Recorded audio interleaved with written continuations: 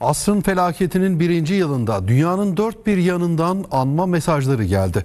Deprem şehitleri anıldı. Zor zamanlarda ülkeler arası dayanışmanın önemine dikkat çekildi.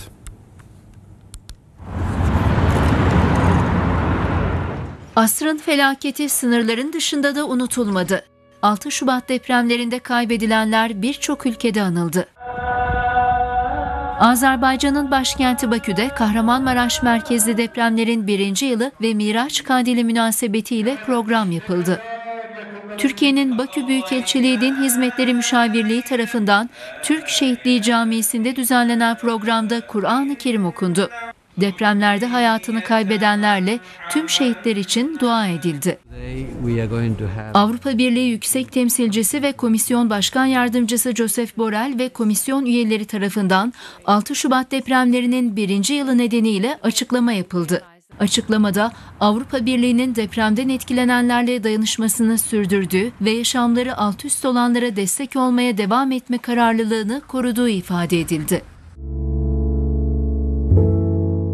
Güney Koreli bir sağlık firması ilk depremin meydana geldiği Türkiye saatiyle 4.17'de deprem şehitlerini andı. Türk bayrağı ve Güney Kore bayrakları yarıya indirildi. Saygı duruşunda bulunuldu. Şirketin CEO'su Wang Bum Park da Türkiye'nin acısının kendilerinin de acısı olduğunu ifade etti. geçmiş olsun Türkiye. Deprem şehitleri Türkmenistan'ın başkenti Aşkabat'ta da anıldı. Aşkabat Büyükelçiliği Din Hizmetleri Müşavirliği, Miraç Kandili ve deprem şehitlerini anma etkinliği düzenledi. Deprem şehitlerimiz başta olmak üzere. Kazakistan Dışişleri Bakanlığı asrın felaketinin birinci yılı dolayısıyla mesaj yayımladı. Mesajda böylesine zor bir dönemde Kazakistan, Türk Devletleri Teşkilatı'na üye diğer ülkelerle Türkiye'ye ilk destek veren ülkelerden oldu. Türk Birliği'nin gücünü ortaya koydu ifadeleri kullanıldı.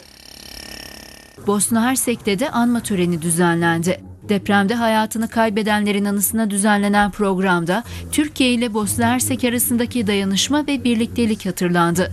Miraç Kandili vesilesiyle yurt dışındaki camilerde de deprem şehitleri için dualar edilecek.